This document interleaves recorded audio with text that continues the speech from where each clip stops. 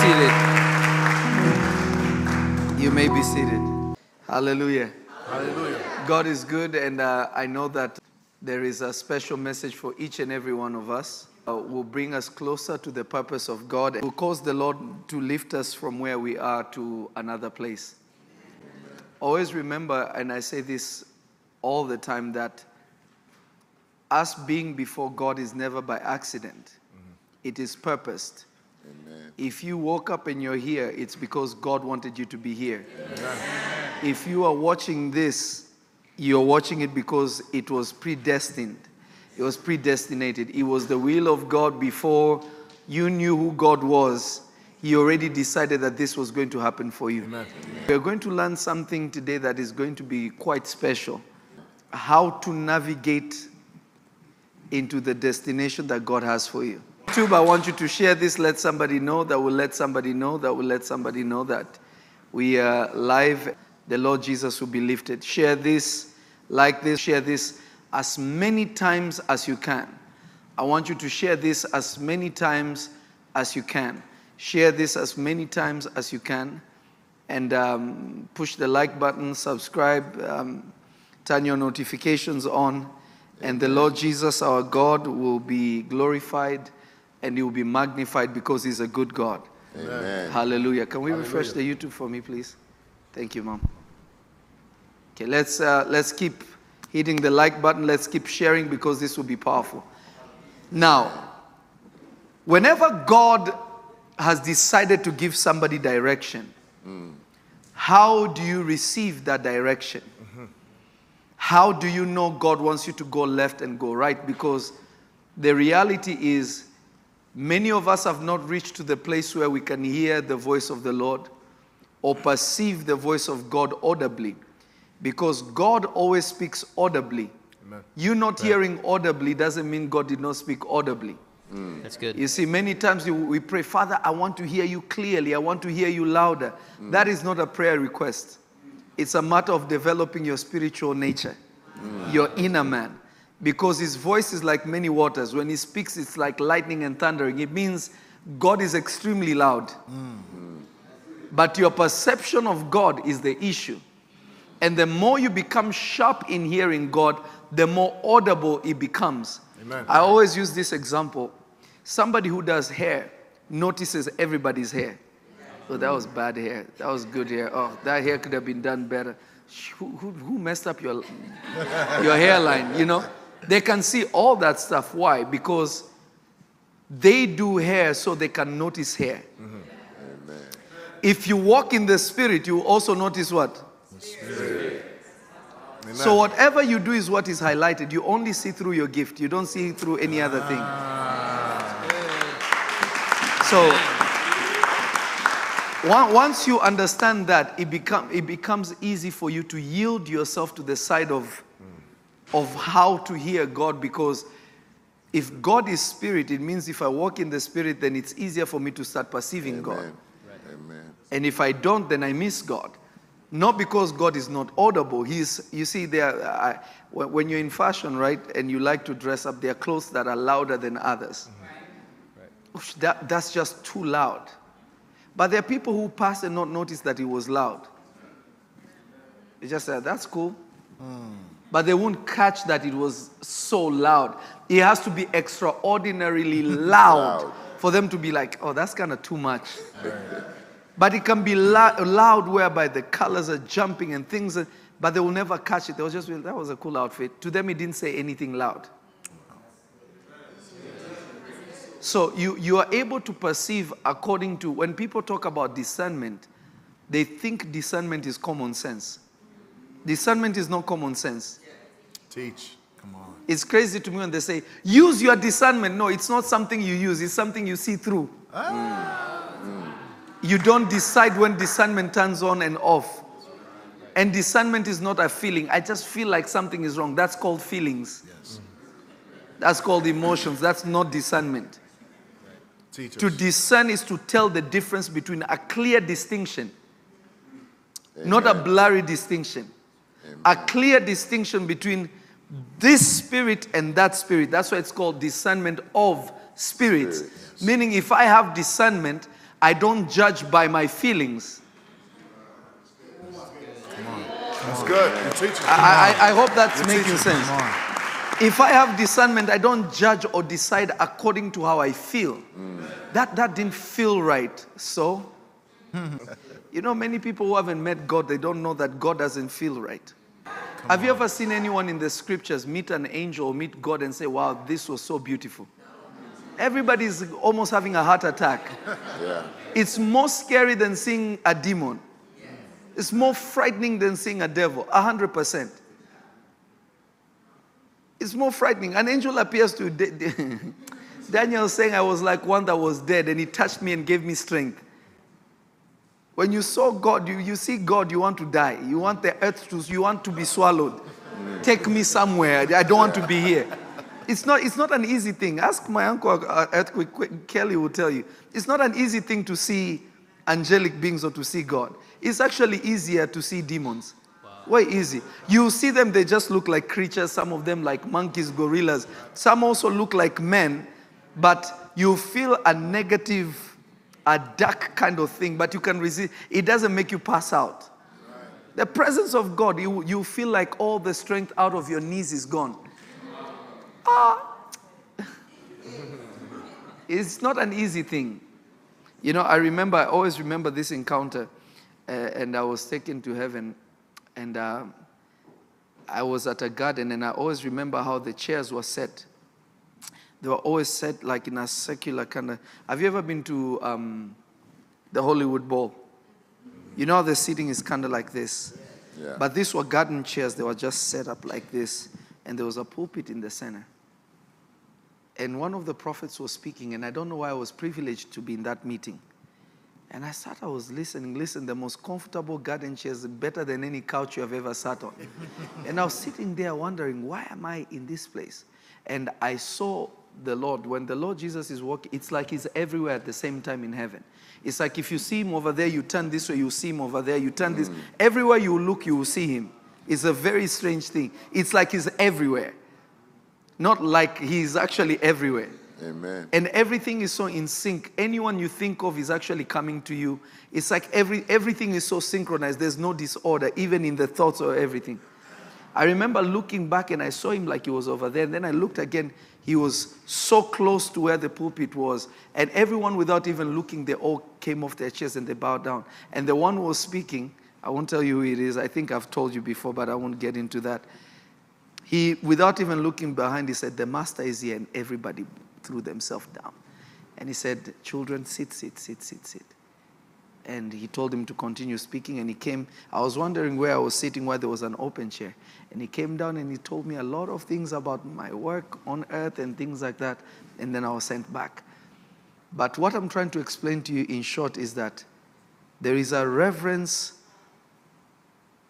beyond your recognition that will put you on your knees whether you like it or not.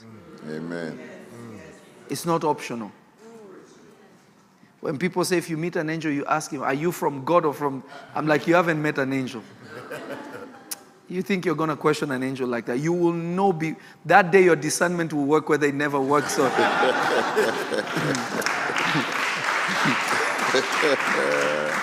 that day discernment will work by fire, by force. Without any choice. But I want us to go to Isaiah chapter 30. Uh, you can read for us, Bishop. Which version do you usually have? King James I or have King James and then I have, uh, New Living? no, the Amplified. You like, okay, I'll let you read your Amplified today. Isaiah chapter 30 from verse 19 to 21. As, yeah. Actually, to 22. Isaiah 30 from 19. 19 to 22. O people who dwell in Zion at Jerusalem, you will weep no more. Mm-hmm. He will surely be gracious to you at the sound of your cry. Mm-hmm. When he hears it, he will answer you. Mm-hmm. And though the Lord gives you the bread of adversity and the water of affliction, yet your teacher will not hide himself anymore. But your eyes constantly behold your teacher, and your ears will hear a word behind you mm. saying, This is the way, walk in it. Mm. When you turn to the right hand and when you turn to the left, mm.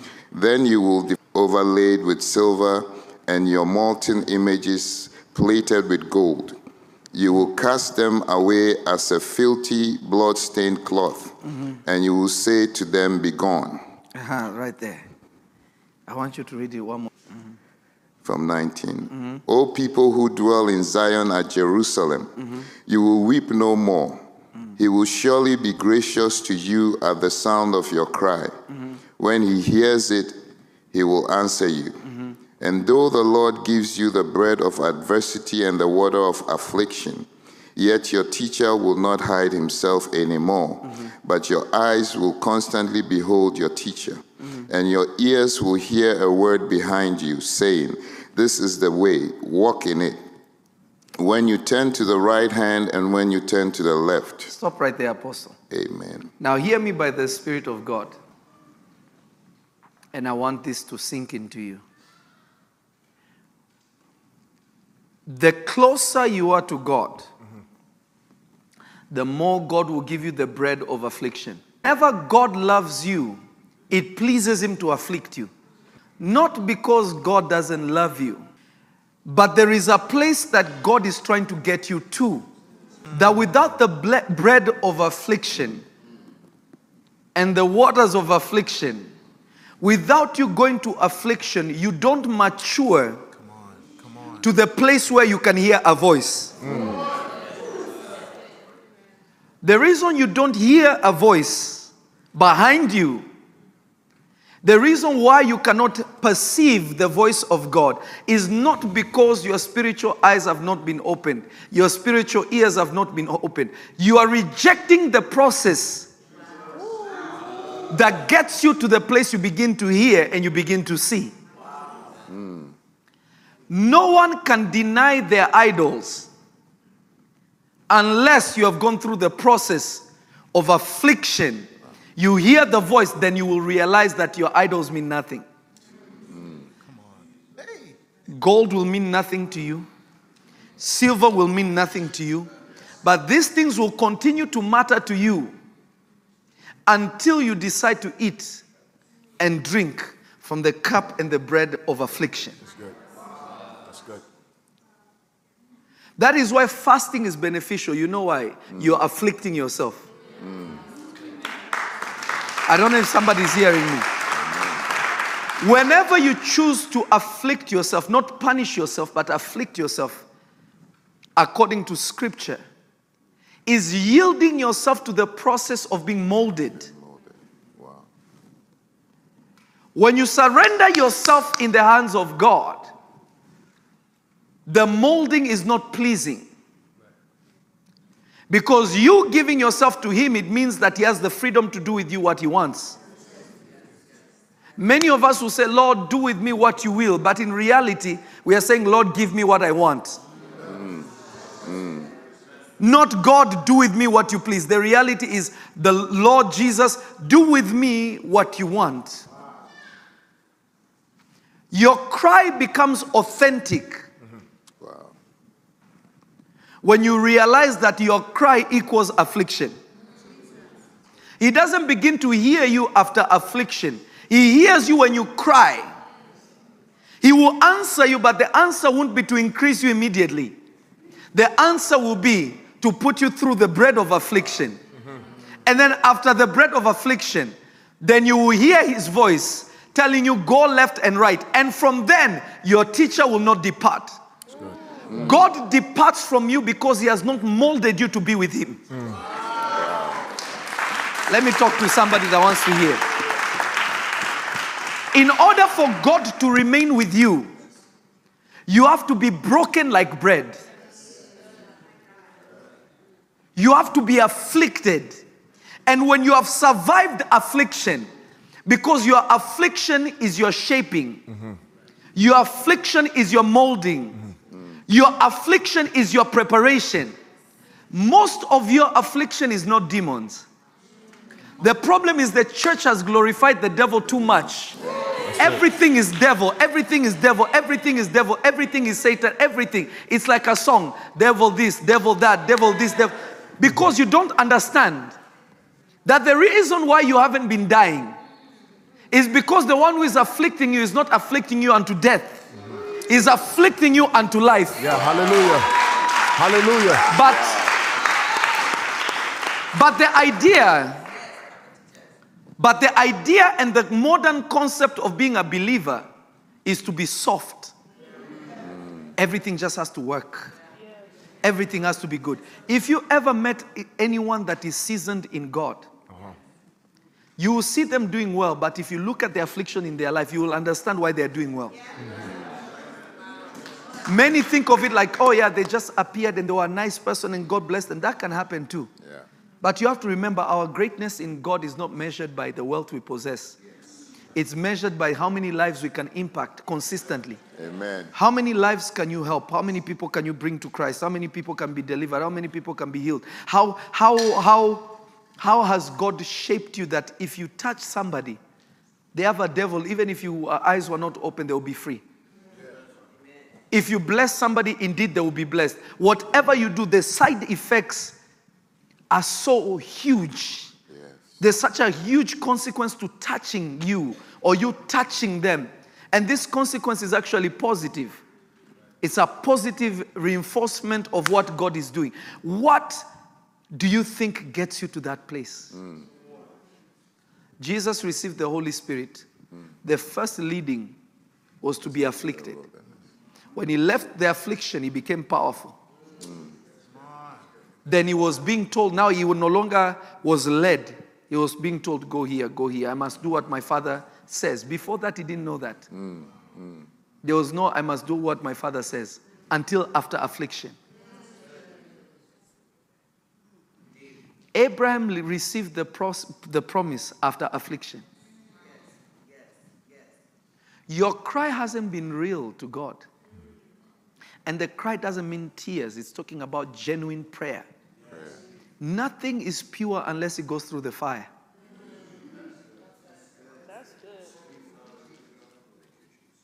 Nothing is pure until it goes through what? The fire.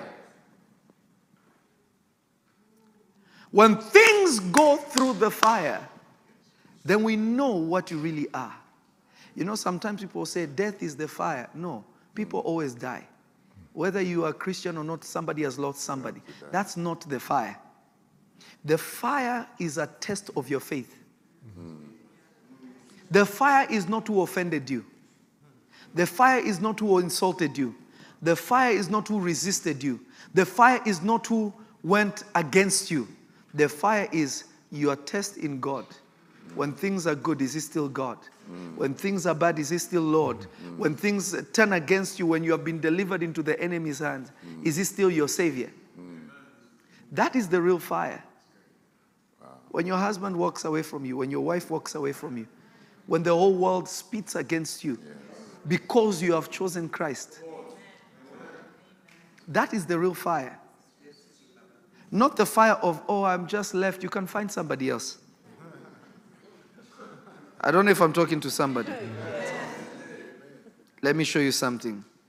Let me show you something. Let me tell you something. Now, I want to show you something. This is quick. Apostle, can you find this for me? Uh, it just came into my spirit. Uh, thank you, Lord Jesus. This one will be sweet. Um,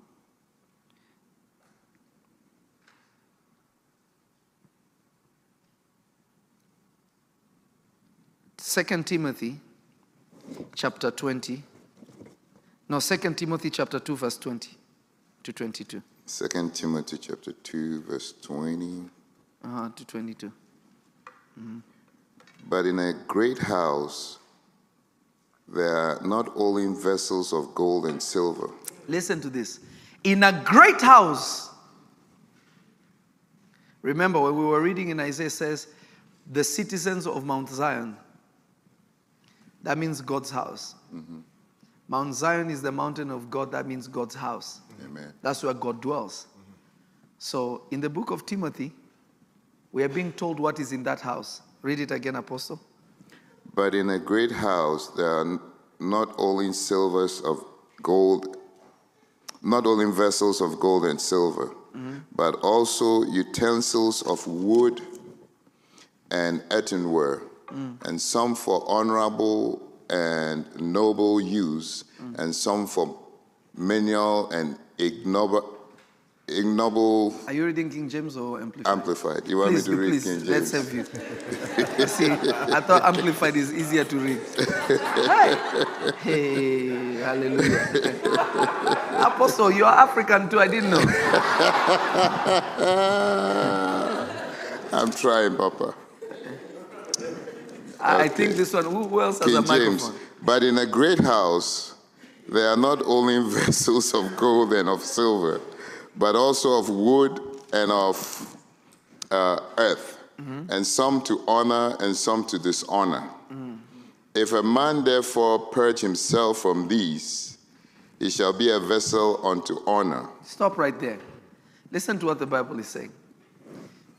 In a great house, they are not only vessels of gold, they are not only vessels of silver.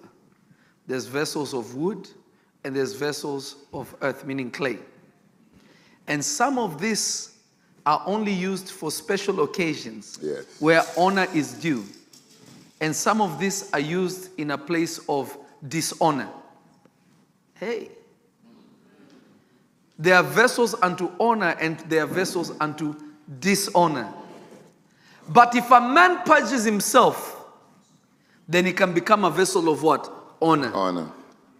Meaning that your use in the hands of God is dependent on how much you get or, or you permit God to purge you. Mm. It's not dependent on God, it's dependent on you. Amen. Let me give you an example. A vessel of wood, this is somebody that has refused to go through affliction. Because if you put wood in the fire, it's gone. Okay, let, let, let's change the subject. No, no, no. no. You teach it I wish somebody could hear this. If you're a vessel of wood, you cannot survive the fire. It burns.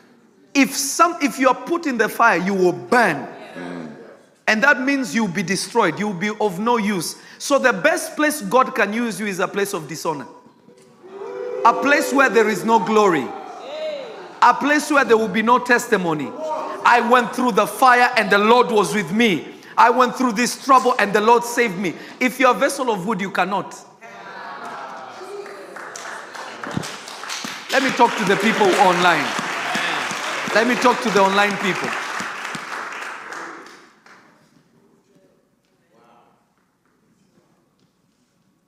Now, you see, some of these translations, I don't like them because they'll say, if you stay away from sin. It's not staying away from sin, hmm. it's a completely different meaning. To purge, you cannot purge yourself. To purge means to cleanse, doesn't mean to abstain. That's why we say, what can purge our sin? Not just wash, wash us, Wash but to purge Purge means to Take take, away the memory of it ever being there. That's why you have to be careful with translations because even though it's trying to give you the same meaning, it's not. It's really not. You because words have meaning. Yeah. Because the Bible did not make a mistake. The writers did not make a mistake to write it in the way they wrote it. That's why it's important to know words. Abstaining from sin doesn't make you a vessel of honor, even though it's commandable. It's a good thing to stay away from sin. But that's not what makes you a vessel of honor.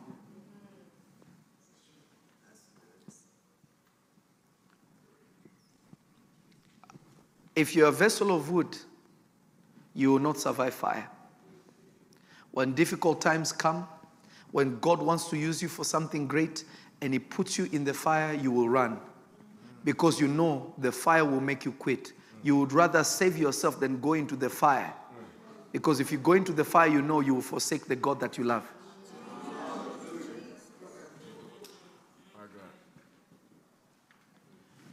The vessel of the earth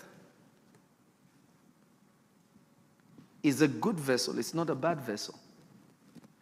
It's not the best vessel, it's in the okay category. Why? Because the, the earthen vessel is easy to break. And oftentimes, when it is shaped over time, it can change its form. It shifts sometimes. And because of that nature, in order for God to reshape it, He has to break it again, smash it, and rebuild it. The problem with earthen vessels is you are stuck in your ways, it's not easy for you to be reshaped. When the Lord was talking to Jeremiah, he said, Jeremiah, go to the potter's house. Jeremiah got to the potter's house and he saw the maker or the potter was shaping things, and sometimes they didn't turn out the way he wanted them to be. So he broke them into pieces and redid it again. He said, Israel are in my hands like the clay. Why can't they let me shape them? When you are an earthen vessel, when you are an earthen vessel, these are people who are stuck in their ways. They are not people who change by fire because if you take that vessel and put it in the fire, it becomes harder.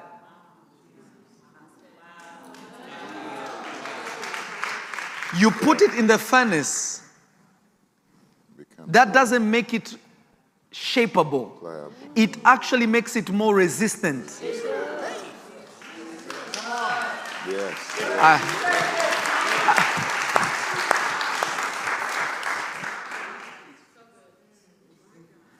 I don't know if somebody's understanding because to purge, to purge, and remember the fire comes to test. It comes to test and to purge. But if you're an earthen vessel, fire makes you harder.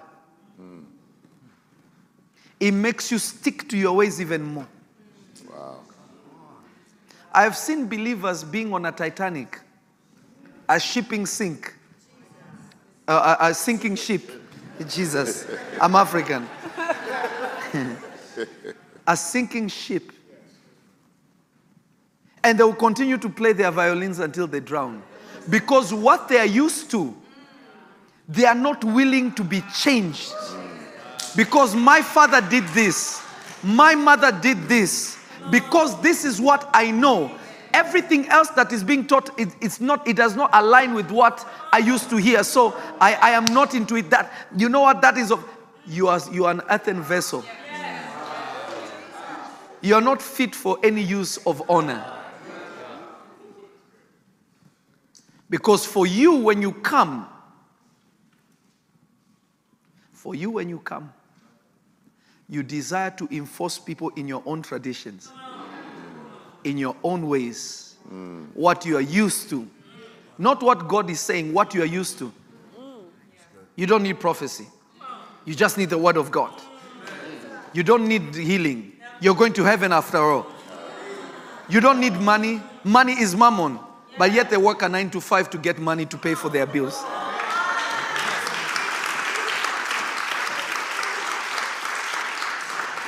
You don't need nice clothes. You don't need this, but you notice the people who say this are people who can't afford it. So, because they have not been able to afford it, because they have not been able to live a certain life, for them, everyone that has that is evil. Everyone that has that is evil. It has, it has cemented them in lack. It has cemented them in stubbornness. It has, it's like they're enforced into it. The fire doesn't make them better. It hardens them. It hardens them. And the longer they stay there, they become black, dark. Meaning their condition worsens. Not only do they become hard, but the color of their heart also changes.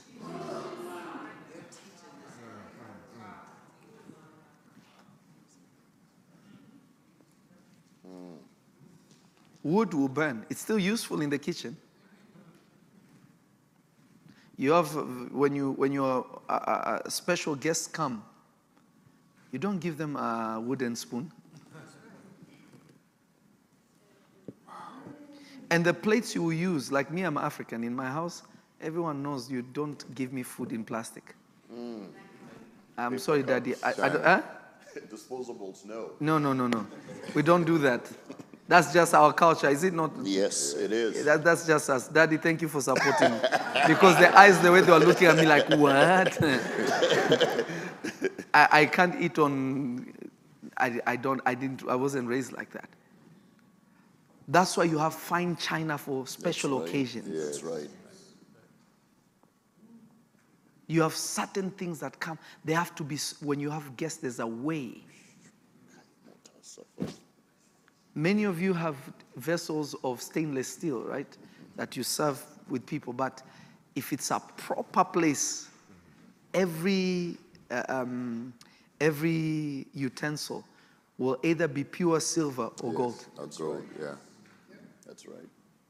But I will explain to you why in a second. We are getting there.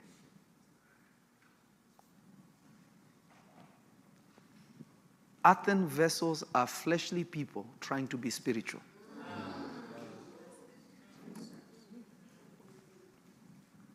Wherever they go, they resist everybody. Unless you can fit into them, because they are bold.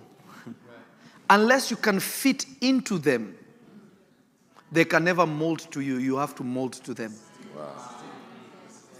So they are not useful for anything except that which can fit into them. Hmm. Everything that is outside of them, they are not into it. Hmm. These are carnal men trying to be what? Spiritual. Are, are you learning something? Yes. If you're learning something, wave your hand. I want to make sure you're learning something. Is this making sense? Yes. Because the reality is, if you don't adapt this truth, if you don't know this truth, if this truth doesn't enter you, I'm sorry. You have such a hard time with things that you should not be having a hard time with. You can't keep going to the same place that has been giving you bad results for years and expect a different result. Hmm. It's called insanity. That's right. It's 100% insanity. The word you hear doesn't make you grow, it doesn't make you mature. But because you are faithful to earthen vessels, uh-huh. Uh-huh. Come on now.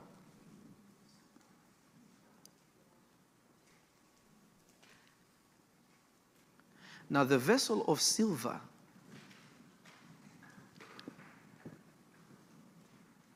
is a sanctified person.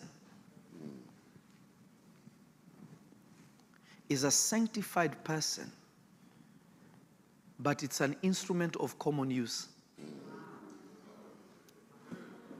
Not for special use, common use. Remember, these two are of dishonor s- wood and earth. These ones are, y- y- hmm. it's like for disposables. Silver you don't throw away because it's valuable, but silver is for common use. That is why your money was, um, was uh, silver, silver coins here and here. Everything was, you trade, everything was silver mostly. Gold was the star. If you have gold, you're on another class, but silver. Jesus was sold for 30 pieces of what? Silver. Silver is what people use for, for because it can take a lot of damage and it's still okay. You know, many don't realize that gold is actually soft. Very soft. Gold is not hard. Yes. The purer the gold, the softer it is. Mm. Correct. Yes, you actually, you actually. we are coming to add- that, huh? Yes, you actually have to add silver to make Yeah, gold solid. that, that's that's why I'm apostle. You're stealing my. hear me, hear me by the spirit of God. Silver is much is much durable. It is very durable, mm, mm. but it is not for special occasions. It's for mm, common use. It's for common use. It's for common use.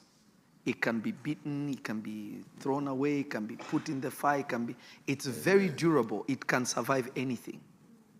But the issue is because it is common, who you will, how you will represent God will not be different from another person somewhere. You will not be highlighted because you'll be the standard. Who you are with brother so, with sister so, with the cousin so, whoever it is, you'll be at the same level. You will all be of common what? Use. Meaning through you, you are generate people will say, wow, so and so is anointed. So and so is anointed. But if a gold vessel comes through, everybody will turn to the gold vessel. Yes.